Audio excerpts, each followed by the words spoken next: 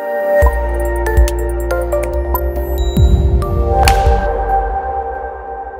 Sholay release हुई थी तो जिस तरह आज जो बाहुबली को सफलता मिली, क्या उसी तरह का था? क्योंकि हमारा तो जन्म भी नहीं हुआ था।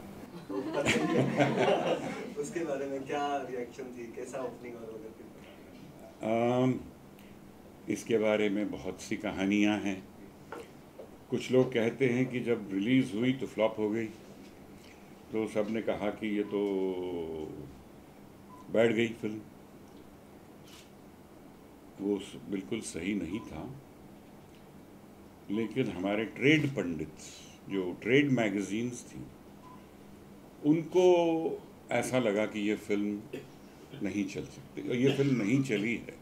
मेरा ख्याल है वो पहले से प्रिपेयर्ड थे ये कहने के लिए, क्योंकि फ़िल्म जो जिसका बजट एक करोड़ था, वो तीन करोड़ तक चला गया। तो ये फ़िल्म कैसे पैसा बना सकती है? ये तो रिलीज़ के पहले ही फ्लॉप है। और इसी तरह उन्होंने लिखा कि ये फ़िल्म डिजास्टर है इंडस्ट्री के लिए। तीन करोड़ का खर्चा, ऊपर से प्रिंट पब्लिसिटी और ये सब तो ये चार पाँच करोड़ से कम तो खर्चा नहीं है इसका। कब रिकवर होगा? कैसे रिकवर होगा? इंडस्ट्री डूब। गई लेकिन जहाँ तक ऑडियंस का सवाल था ऐसा बिल्कुल नहीं था। ये ज़रूर था कि ऑडियंस जब मैं और पहली बार फ़िल्म देखने गया ऑडियंस के साथ तो सन्नाटा छाया हुआ तो मुझे लगा कि क्या है? मैं दूसरी सिनेमा में गया, तीसरी में गया, हर जगह सन्नाटा।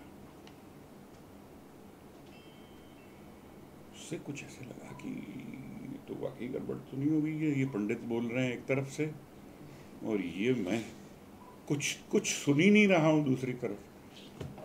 तो एक सिनेमा है यहाँ वर्ली में आ, गीता सिनेमा करके ओल्ड सिनेमा थी I don't know it's still there वहाँ गया उन, उनके मैनेजर ने बुलाया आप हमारे आए। गए। इंटरवल हो चुका था। मैंने कहा, अब इसको क्या कहना है? इसकी भी सुन लो। अब तो उसने कहा कि आपकी फ़िल्म जो है प्रॉब्लम मेरा ये है कि ये जो आप देख रहे हैं स्टैंड सोडा फाउंटेन का और ये जो कोक और सिगरेट और समोसे का, यहाँ कोई आता ही नहीं है। तो ये भी गया। मतलब ना कुछ खा रहे हैं, ना कुछ पी रहे हैं और ना कोई आवाज़ हो रही है। चीज़ नहीं। इंटरवल में कोई सिनेमा सीट से उठ उठना ही नहीं चाहता। तो सन्नाटा इस वजह से है कि इन लोगों ने आज तक ऐसी फ़िल्म देखी नहीं। इतना साउंड और ये जो आ, सारी तिगड़में की हमने मेहनत की जो भी की अब एक सेंटेंस में समझ में आ गई बात कि लोग चौकन्ने हो गए हैं।